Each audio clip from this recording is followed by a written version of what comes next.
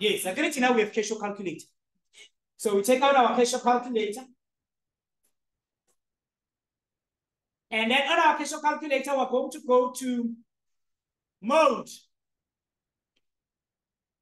And then if you press mode, we're going to look for something which is called a table, depending on the calculator that we are using. Go to your calculator, check for table. Uh, my calculator says seven, I'm going to press seven. If your calculator says three, you press three again. And then you're going to type this thing exactly the way it is. So you go and type this thing exactly the way it is.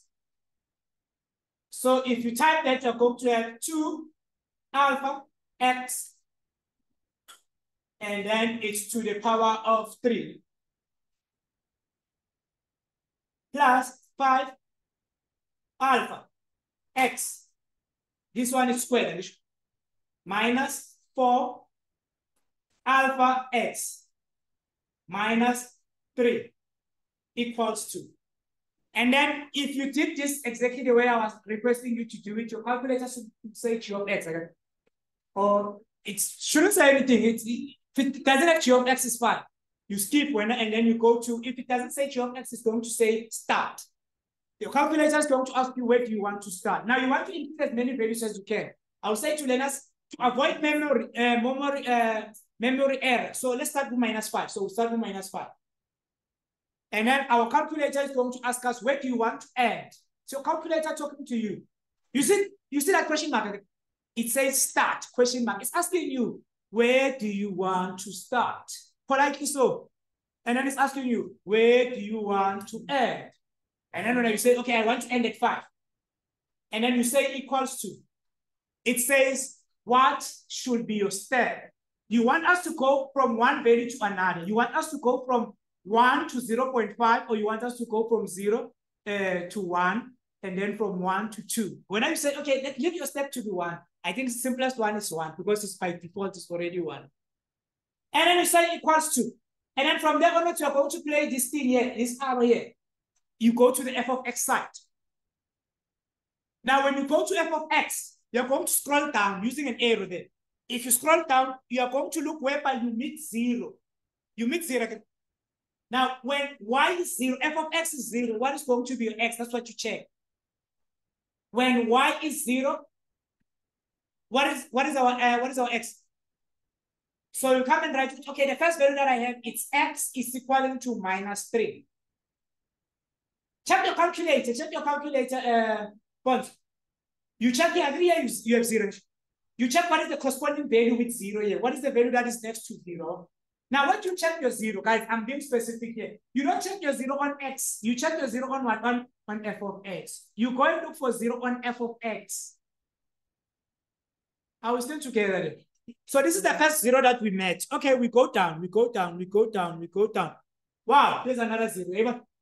So we write this one. When y is zero, what is x?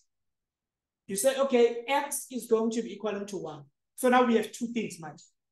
Now we go and check on our calculator. Do we still get another one? Do we still get another one? It seems as if we, we got two again. And then here's the trick, guys, here. If you get two, they're enough. If you get two, they're, they're more than enough.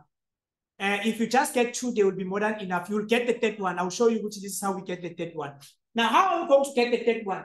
Now, these are the values of x are not our factors. So now we want to get the factors. How you get the factors? Ama factors you open a bracket. And then you're going to open three brackets. Because you need to have three things. It's a cubic function. Now, when you put this thing here in a factor, this is the value of x, is the value of x. Then you're going to have x. Now, if it's negative here, when it gets here, it's going to be plus 3. I will still it. And then when we get to this one here, we're going to say, okay, this one here is going to be x to positive here again. Then when you write it here, it's going to be what? So you're going to get what? Minus 1. Now we are left with the third one. Okay? Now, how do we get the third one? This is how we're going to get the third one. Um, who has changed a hairstyle.